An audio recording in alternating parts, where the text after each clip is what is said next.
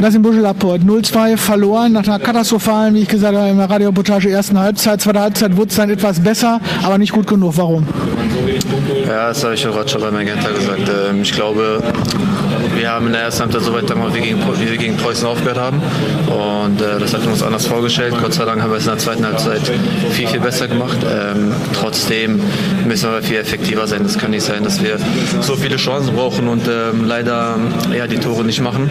Ähm, aber das ist dann halt so, wenn der teilweise Dritte zu dir kommt, funktioniert bei dem halt vieles mehr als, äh, als bei uns jetzt äh, zurzeit. Und ähm, deswegen ja, müssen wir einfach weitermachen und äh, unsere Chancen dann besser nutzen, weil so werden wir dann keine Spiele gewinnen.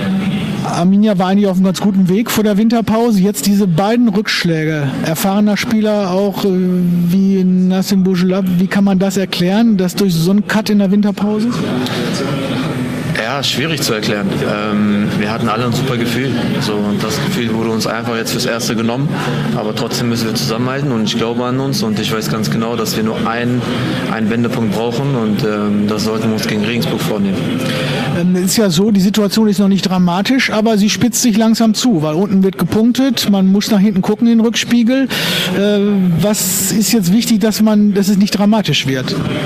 Spiel für Spiel gucken. Ähm, ich glaube, man darf nicht zu weit äh, hinausschauen. Man muss jetzt äh, Spiel für Spiel schauen und Schritte, Schritte, ja, kleine Schritte machen und ähm, die Spiele, die man vor sich hat, dann versuchen zu punkten, weil das ist gerade das Wichtigste. Wir müssen punkten, punkten, punkten. Okay, danke Nassim Muschel. Danke auch.